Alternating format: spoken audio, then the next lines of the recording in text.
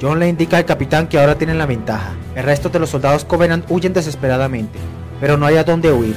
Los Marines corren hacia adelante para ganar terreno, matando al enemigo, mientras otros levantan el cuarto volcado reincorporándolo a la batalla. John 117 informa que hay Banshees sobrevolando el cañón.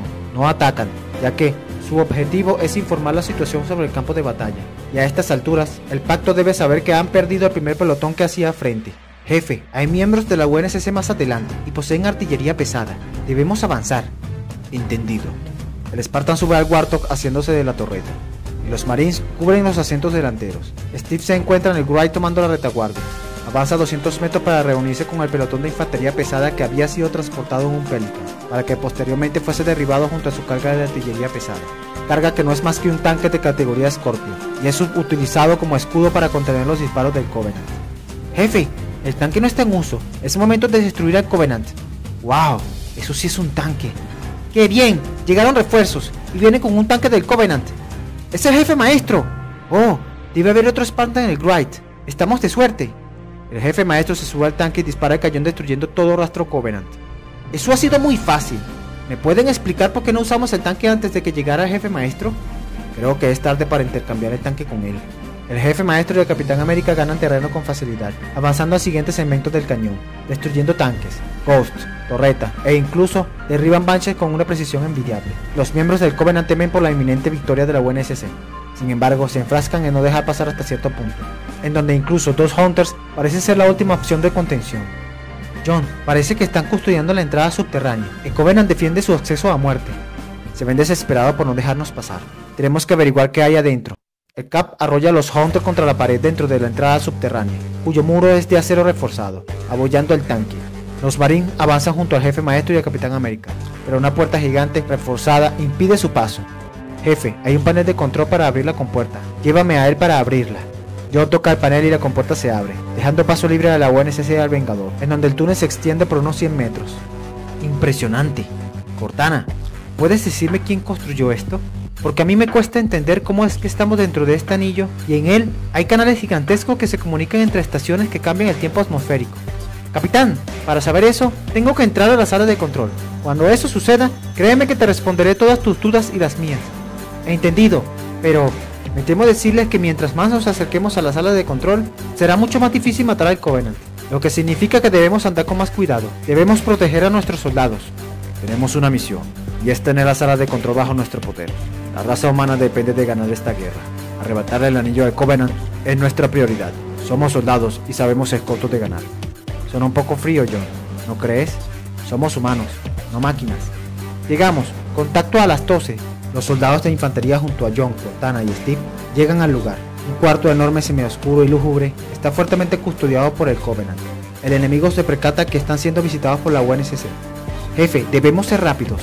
El Covenant parece que está haciendo movimientos extraños y se dirige a un punto en específico. Los soldados más fuertes del anillo se encuentran armados con tanques del Covenant y de la UNSC, junto a un puñado de soldados de la Marina que derriban al enemigo sin piedad, ganando terreno rápidamente, y habiéndolos aniquilados, abren la siguiente compuerta reforzada e ingresan a otro túnel que da con la salida, pero esta vez desemboca posteriormente por una cueva natural, y por supuesto, esperan más regimientos del Covenant. La lucha es desigual. El enemigo no tiene resistencia ante el paso espartano y vengador. Aunque posean una tropa enorme con vehículos de batallas terrestres y pesados, más naves aéreas de combate, los tanques usados por los superhumanos destrozan todo a su paso, disminuyendo al enemigo vorazmente. Y, una vez en la superficie, todo se hace más caótico. Oleadas del Covenant caen como lluvia. Parece infinita la cantidad de enemigos que descienden de las naves de desembarco, más custodios de cuadrantes establecidos dentro de estaciones artificiales y también a sus alrededores. ¿Me podrían decir de dónde sale tanta porquería? Pareciera que estamos en la cloaca del universo. No dejan de llover miembros del Covenant. Deja de lloriquear. Si quieres volver a tu casa a beber un vaso de leche, estás en tu derecho. Soldados, dejen de hablar y concéntrense en la batalla. Aniquilemos al Covenant. Después pueden beber toda la leche que quieran. Diablos, ya no nos respetan. Ni siquiera los ODST nos tratan bien. ¿Que no es un Spartan el que maneja el Wright? No, es un ODST, aunque pongo en duda que lo sea. Pelea como si fuese un Spartan. Mientras los maris se quejan y conversan, la UNSC avanza sin piedad. El Covenant se duplica cada área subsiguiente. John, debemos estar muy cerca. El enemigo crece en número, pero debemos llegar lo más rápido posible. El capitán Keyes está dirigiéndose a una zona donde Covenant hace movimientos extraños. Está muy lejos de aquí. y no podemos hacer nada hasta llegar a la sala de control. No hay tiempo para más. Tanques del Covenant, Banshees, Ghost, Spirit y demás vehículos llegan al lugar. No parece que hubiese fin. El Scorpio y el Wright disparan dichos vehículos destruyéndolos por completo, pero casi no hay fuerzas. Los tanques de los soldados están muy maltratados por la batalla y deben abandonarlos. Necesito ingresar a la sala de control a como dé lugar. Capitán Rogers, necesitamos apoyo aéreo. Detecto manches adelante. Entendido. Desde aquí veo una de esas cosas voladoras. Cúbranme. Capitán Rogers, esos son banches. No son fáciles de manejar. No permita que los siga el enemigo.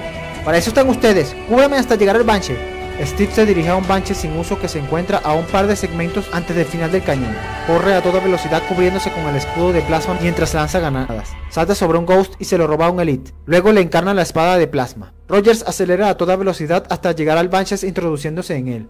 ¿Cómo se supone que se maneja esta cosa? Es demasiado incómodo y huele horrible. Huele a... ¡Ah! ¡Qué asco! Debe ser el aliento apestoso de los Elite. Capitán Rogers, para manejarlo solo debes empuñar dos manurios que fungen como palanca. De acuerdo. ¿Qué son estos botones? El capitán acciona el botón de plasma destruyendo sin querer al Ghost que robó. Ah, ya, no hace falta. Es un misil verde. Despejaré el espacio aéreo de los enemigos. El Vengador sin experiencia maneja el Banshees. Solo puede mantenerse en el aire dando vueltas, mientras otros Banshees le disparan incesantemente. Intenta escapar, pero los disparos colisionan en una formación rocosa en el medio del campo de batalla. Y ella es usada como una plataforma para el Covenant, en donde tiene instalado un equipo antiaéreo. Steve está en aprietos, ahora debe ingeniárselas para destruir todo ese armamento. Se baja de dicho lugar, y detrás de él, 150 metros de altura lo separan de los soldados. Y con su espada y escudo de plasma, contraataca pateando al enemigo hacia el precipicio, cayendo al suelo cerca de los soldados de la UNSC. Creo que tenemos ayuda del mismísimo cielo. Te dije que parece un Spartan. De vuelta con Rogers, el equipo antiaéreo es neutralizado con granadas y bazucas de plasma. Y despejada la zona, se dispone a volver al Banshees, no sin antes encargarse de los que sobrevuelan en la zona disparándole al Cap. Por ello, toma la bazuca y espera a que ataquen frente a él, para así derribarlos de un solo disparo. Funciona y destruye todos los Banshees. Luego, se sube al suyo. Sin embargo, no recibo señales del Capitán Keyes. Su última transmisión neural fue hace 20 minutos. Su ubicación termina a centenas de kilómetros de aquí. Cortana, dime cuáles son las coordenadas y yo mismo iré hasta allá para salvaguardar al Capitán Keyes. Son estas, pero ten cuidado, no recibo señal de nadie allá, ni siquiera del Covenant. De acuerdo, no se preocupen, lo encontraré. Suerte con la misión, estaremos en contacto. Suerte, capitán. Infórmenos cuando llegue al lugar y cuando tenga Capitán Keyes a su custodia. Capitán América aborda la misión en búsqueda de Capitán Keyes para proteger su integridad. Por otra parte, John y Cortana junto a los Marines están cerca de la sala de control y tampoco la tendrán fácil. Hay demasiados regimientos del Covenant que no ceden el terreno y sin dudas el jefe dará todo de sí para cumplir con su misión. Ingresan por estructuras que comunican con otros segmentos del cañón, hasta llegar al último donde se aprecian puentes paralelos vista arriba. John y los Marines atraviesan los enemigos en el campo abierto de batalla, disparando sin parar. La misión se hace más difícil. Los soldados de la UNSC caen uno a uno tras acercarse a las salas de control. No hay espacio para lamentaciones. Jefe, lo lamento. Nuestros soldados han caído. Estamos solos. Siento no poder ayudar más. Tenemos una misión. Sus muertes no serán en vano. A kilómetros, Steve se encuentra volando cerca de un bosque denso y oscuro. La niebla no lo deja ver. Intenta comunicarse con Cortana, y sin éxito alguno. Cortana, ¿me recibes? Cambio. Cortana, ¿estás ahí? Jefe maestro, ¿me copia? Demonios, se cortó la comunicación. No veo nada, y este radar no lo entiendo. ¿Qué es eso? No puede ser, es un árbol.